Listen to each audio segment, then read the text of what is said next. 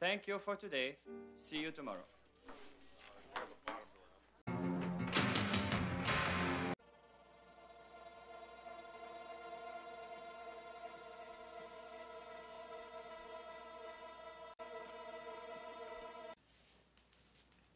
And with hope, all things are possible. He hated tyranny.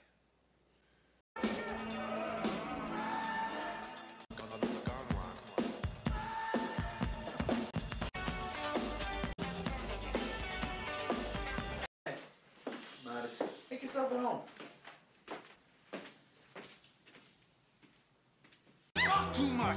Ah! We are gonna do what we go.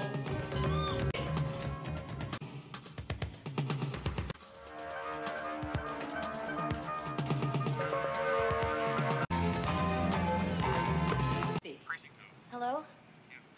I want to report a murder. The, the address? Dope? Prostitution? That's crazy. I almost went out with her. I knew there was something wrong with her. Come. A second.